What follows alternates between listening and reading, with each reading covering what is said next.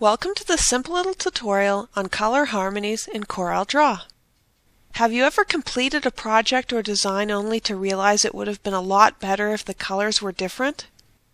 In this example, a design was carefully created for an event, but when the logo is imported, the colors too closely resemble a large portion of the design, and so those elements of the design must be altered so as to contrast properly with the logo. Luckily, there is a new feature in CorelDRAW X6 specifically designed to deal with this sort of scenario. Click on Window, Dockers, and Color Styles. Or use the key combination Control and the F6 key on your keyboard. You will see the Color Styles docker appear on the right-hand side of your screen.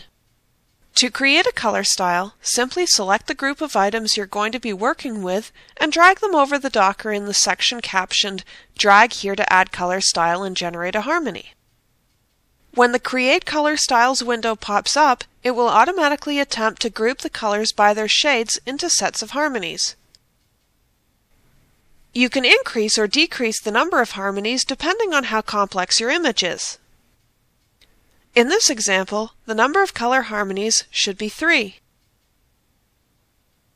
Sometimes color harmonies do not group colors perfectly, or they make too many groups. You can always change the harmonies later by selecting one or more colors from one harmony and dragging them into another.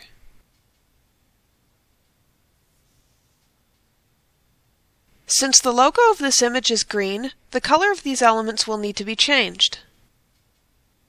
Select any one of the handles and as you move it around the color wheel, you will see the colors changing in the harmony. In this case, they're being changed to blue. When you let go of the mouse, the elements will change on the design.